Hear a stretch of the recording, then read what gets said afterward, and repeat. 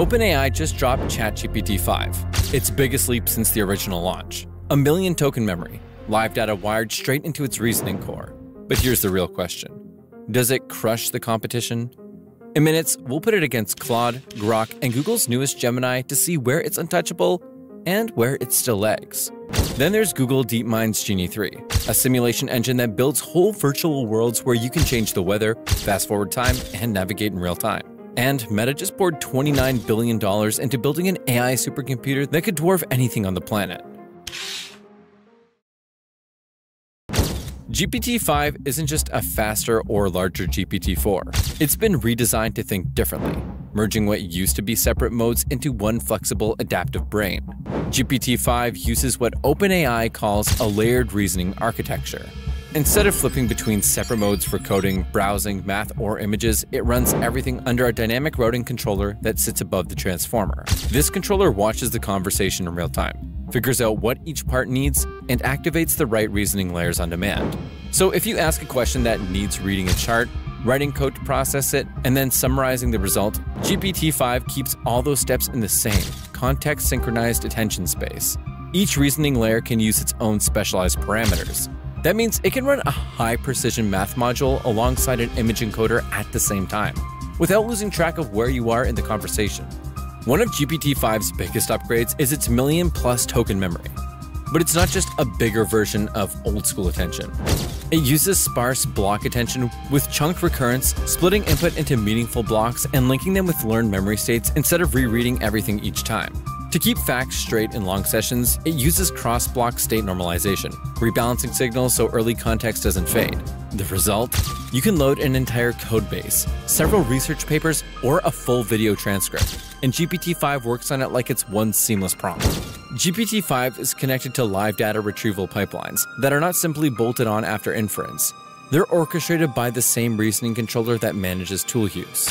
When a knowledge gap is detected, low confidence generation from the model's internal probability maps, the controller can launch a low latency browsing subagent. This subagent fetches results, Vector embeds them on the fly, and streams the embeddings back into the active context, so the next token predictions incorporate verified time-stamped information. The system flags retrieval events in the output to maintain transparency and facilitate downstream auditing. This approach has measurably reduced hallucination rates in public benchmarks by an order of magnitude compared to GPT-4's web augmented variants. A key capability for technical users is reasoning effort control, the ability to set GPT-5's thinking depth for a given query. In low mode, the model truncates multi-step planning to save tokens and latency. In medium mode, it performs standard multi-hop reasoning with light self-critique. In high mode, it engages iterative self-refinement loops where outputs are internally scored, revised, and rescored before emission. This parameter is exposed through both the API and ChatGPT's advanced mode UI, and is especially useful in contexts like autonomous code execution, complex multi-document synthesis, and strictly structured output generation. So, yes, GPT-5 lets you dial its thinking power like a precision instrument. But how will it fare against its real-world rivals? The GPT-5 is the newest, shiniest toy. But is it the clear frontrunner? The reality is more complex, and in certain niche workloads, it's still playing catch up. Let's break down where each heavyweight stands. Across standardized reasoning benchmarks, think MMLU Pro, GPQA Diamond, and the latest Big Bench Hard. GPT-5 posts a measurable leap over Claude Opus 4.1 in raw accuracy. This is partly due to its unified reasoning architecture, where every mode, text, code, imaging, browsing shares the same core context and memory state. Claude's architecture, while extremely strong, still runs a more modular design for reasoning versus coding. And here's where it shows.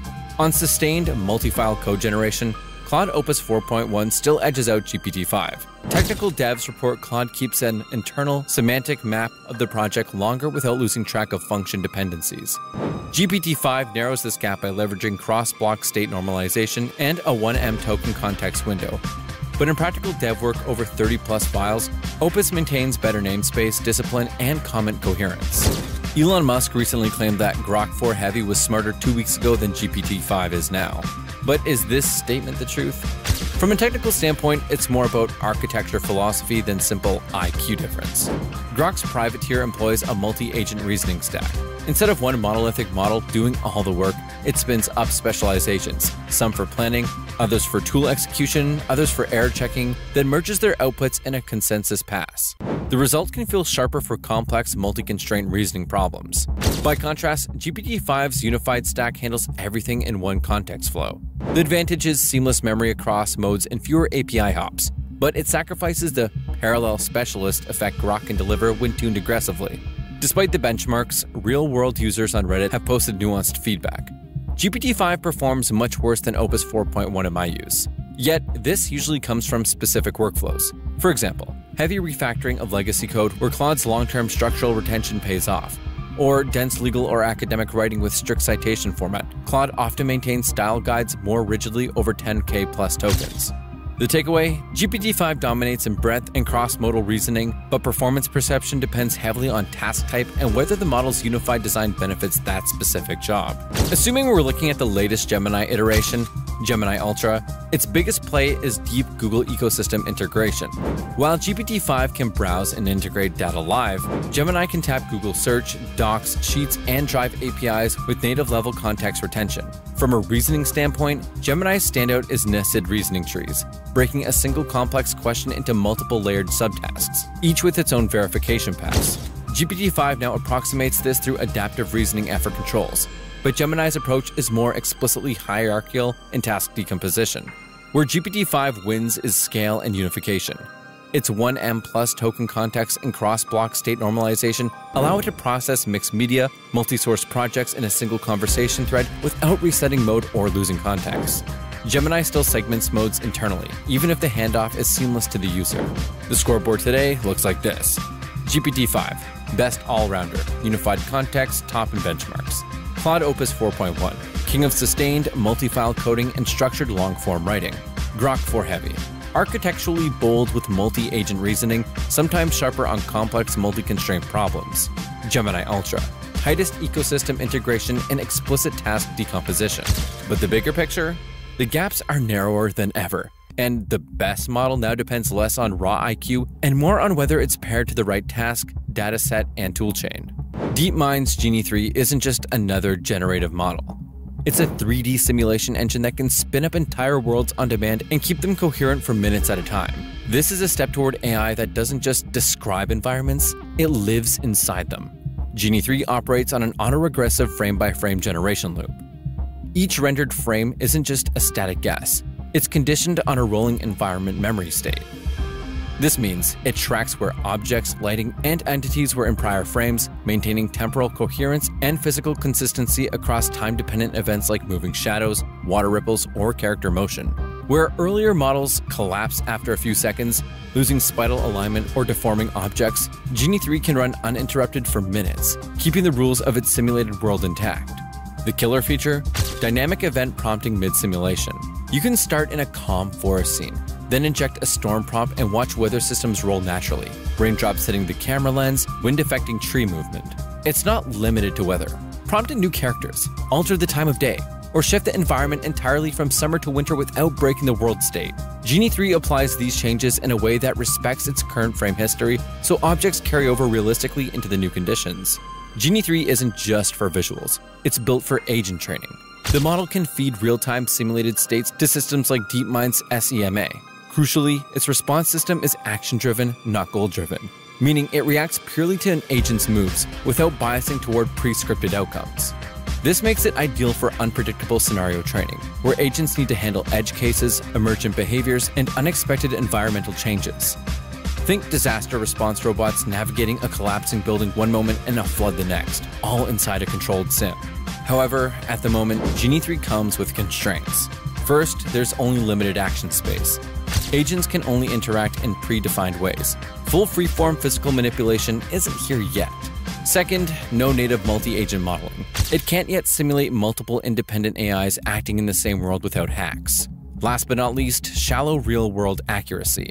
The physics engine is visually convincing, but it's not precise enough for engineering grade simulations. Even with these limitations, Genie 3 marks a significant leap toward persistent, interactive AI environments. It's less video game and more a living lab. And as the action space and multi agent features expand, it could become the backbone for training the next generation of real world capable AI systems. When you see a $29 billion line item on a balance sheet, you know something's about to change. Meta isn't just buying more GPUs, they're building an AI first compute grid designed to feed next gen foundation models at unprecedented scale. The investment covers three main pillars. First, compute fabric expansion. Meta is deploying clusters of NVIDIA Blackwell and H100 GPUs in multi pod configurations, tied together with NVLink switch systems for near lossless interconnect. This architecture reduces internode latency to the microsecond range, critical for training models with trillion parameter counts without bottlenecking gradient synchronization. Second, storage and data pipeline modernization. They're shifting to tiered storage, SSD backed hot data for active training batches, HDD for archives, and cold object storage for long term retention. The data ingestion layer uses streaming prefetch to keep GPUs saturated even during complex multimodal training runs. Third, thermal and energy efficiency upgrades. With power draws in the megawatt range per data hall, Meta is rolling out liquid immersion cooling for dense GPU racks, reclaiming waste heat into local energy grids. This isn't just about sustainability, it enables higher thermal envelopes, so the GPUs can run at maximum boost clocks for longer training cycles. The strategic aim position Meta not just as a consumer AI player, but as one of the few hyperscalers capable of hosting AGI scale training runs entirely in house. This is why Meta is also quietly investing in Waveforms AI.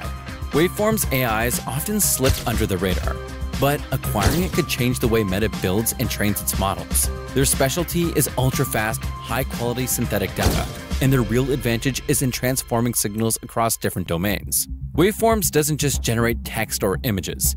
It can simulate sensor level waveforms, LiDAR sweeps, multi mic audio fields, and RF signatures in a way that's statistically indistinguishable from real captures.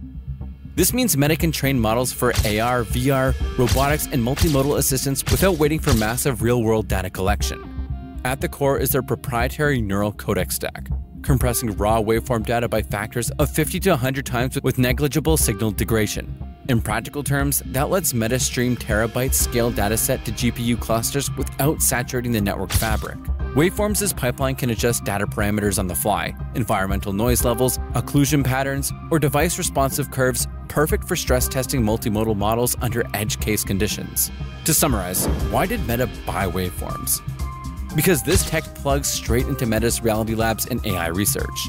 For Llama's future iterations, it can mean richer multi-sensor embeddings and AI agents that don't just talk and see, but hear and sense the world with lab-grade precision. GPT-5 is no longer just a text model. It's a unified intelligence stack, one that routes between reasoning, browsing, coding, and vision in a single context-aware process. You've got a million plus token context window, real-time knowledge injection, and granular control over reasoning depth, a toolkit that feels like a fusion of IDE, search engine, and research assistant all running at inference speed. Across the model ecosystem, GPT-5 currently feels the most versatile. It's the Swiss Army knife, Grok still has an edge in multi agent orchestration, pulling in parallel reasoners for creative or chaotic problem solving. Claude Opus 4.1 remains the coding endurance champ for sustained, multi file projects where context stitching over hours matters more than speed. Gemini keeps evolving with deep Google ecosystem hooks, leveraging docs, search, and drive integrations in ways no API only model can match. Then there's Genie 3, a peek into the agentic simulation future, real time, autoregressive 3D world generation that remembers physics and state for minutes at a time. The kind of environment where agent training isn't hypothetical, it's live, dynamic, and reactive. And in the background, Meta is flexing a $29 billion infrastructure war chest. That's not just racks of GPUs. It's neural codec compression for synthetic sensor data, hyperscale networking for AI workloads, and a push toward models that perceive and respond emotionally in voice. Want a line by line teardown of GPT 5's reasoning layers? Exactly how it decides when to browse, when to code, when to simulate? That's coming next. Hit subscribe so you don't miss it.